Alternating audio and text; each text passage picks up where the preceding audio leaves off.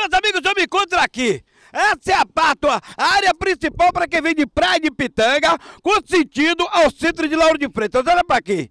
Isso aqui é o centro de drenagem aí, ó da Lagoa da Base, que vai ser jogado no Rio Sapato. Dê uma olhada, olha só, olha o buraco, olha como tá aí. Foi preciso se botar um saco de lixo e as coisas que tá acontecendo.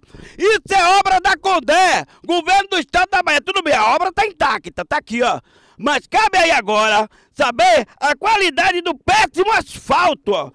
A qualidade desse péssimo, dessa carniça, dessa carniça desse péssimo asfalto. Essa carniça você tira de unha.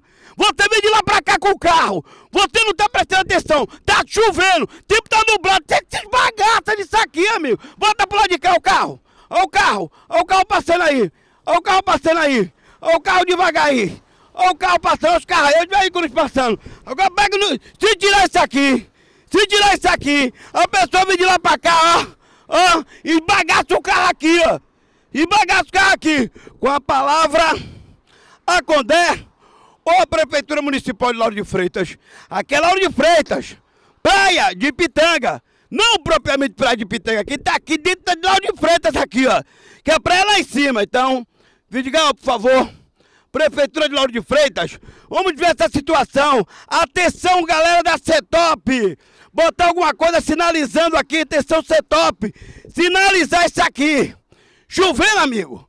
Bata um infeliz e tira isso aqui, ó. Pega e faz isso aqui, ó. Pega isso aqui e faz isso aqui, ó. Quem vai enxergar de lá pra cá? Tira esse saco aqui. Quem vai enxergar? Vai te esbagaçar aí. Então, com a palavra, você top, a gente vai mostrar aqui o ciclo para as pessoas ficarem avisadas. Por isso, continue em nossa programação.